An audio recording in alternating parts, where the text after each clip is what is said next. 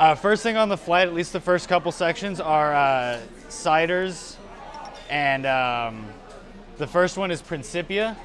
This is kind of our most basic tasting cider in the sense that not a lot of crazy flavors added to it. Pretty much just your uh, run-of-the-mill go-to standard cider. It almost reminds me of champagne in a sense, uh, with the very light flavor, but with bubbles in it. Uh, next on the flight, we have uh, Blueberry Spaceship Box. This is our number one product in the company, and it's also one of the number one rated ciders in the world as well. Um, this is probably one of the most commonly ordered uh, drinks on the menu.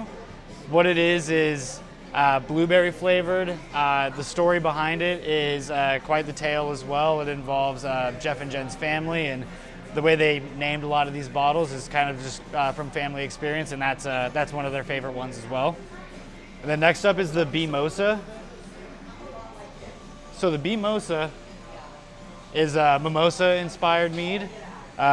very bubbly, um, very great on a Saturday or Sunday morning. Now next up is Harrah's Orchard. This is an apricot flavored mead.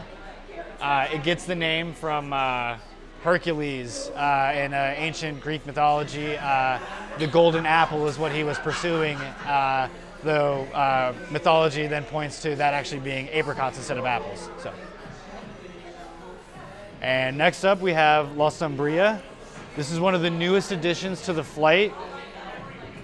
One of my absolute favorite ones as well. Pomegranate, passion fruit, and uh, aged in tequila barrels. I'm a big tequila fan, and this one uh, really does kind of highlight all the flavors. It's nothing like a lot of people have ever tasted before.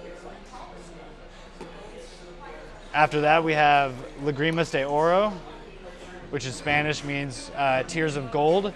This is one of our most award-winning meads uh, that we offer. Um, one of our core products as well, along with uh, Blueberry Spaceship Box, uh, Marion and uh, um, Peanut Butter and Jelly Crime. That's on the uh, flight right now. And uh, next up, this is Sunrise Snorkel. This is a sparkling mead, coconut and blueberry. Very light, very crisp. Um, if you like bubbles, it's an excellent choice. And then next up, this is the Blueberry Hex, one of my favorite uh, meads, just based on the color. It's got a beautiful color to it. And uh, next up, this is a uh, new addition to the flight as of today. Uh, this one got added to the flight. It is Portuguese Blindfold. It's a BDSM uh, that's also aged in another one of our uh, famous uh, meads, the Framboesa. It's aged in Framboesa barrels, so it's got an excellent uh, berry flavor to it. And now here we have Aphrodisia 23. The Aphrodisia series is a part of things called pyments, and pyments are meads that are made with wine grapes. Uh, batch 23 is made with uh, Cabernet grapes. Uh, batch 22 that we also offer in the restaurant is made with Syrah grapes.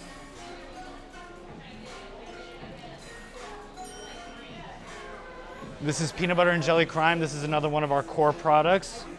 Uh, the drink itself is made with peanuts, so if you have a peanut allergy, it may not be the drink for you. However, if you like peanut butter and jelly sandwiches in general, this drink really does encapsulate every element that goes into the sandwich, even the bread. You can really taste the bread in that one too.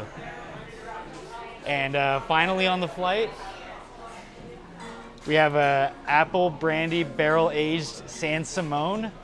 The San Simone series is made with Frederick Soul uh, cherries. Uh, they are one of the boldest, strongest tasting uh, cherries that we offer. In particular, we have a couple of cherry flavored uh, other meads as well. But the San Simon series has uh, some of our best cherries in it as well. My three favorite meads that are featured on the Flight of 12. Uh, number one, I'm going to start with the newest edition that is um, Portuguese Blindfold.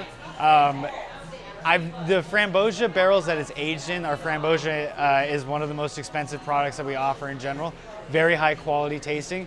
Um, we added that one to the barrel this, up to the uh, flight this morning, so today was the first time I've had it, and I can honestly, genuinely say it is absolutely one of my favorite ones on the flight. Uh, followed up by La Sombria, which is uh, this one right here.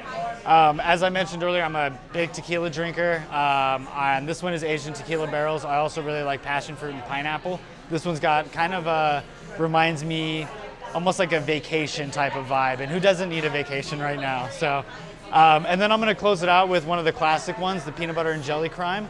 Um, when I first started working here, uh, when I did my research into the company, um, I saw that we had a peanut butter and jelly mead. Um, I was instantly intrigued, and from the first day of training, when I when I finally got to have it, it was everything I imagined it would actually be. It was uh, um, a, a real, you know, journey through a drink basically to get you to uh, to a peanut butter and jelly sandwich. And I, I, you know, I love peanut butter and jelly sandwiches. Call me a child on the inside, but I think uh, I think that drink itself really does capture everything you're looking for uh, when it comes to peanut butter and jelly sandwiches. We also do have a couple of other flavor additions that have come with it. There's a coconut peanut butter and jelly crime, along with a strawberry peanut butter and jelly crime that have been in the restaurant. Uh, I don't believe we currently have them right now, but they are at least uh, something we do offer at some point.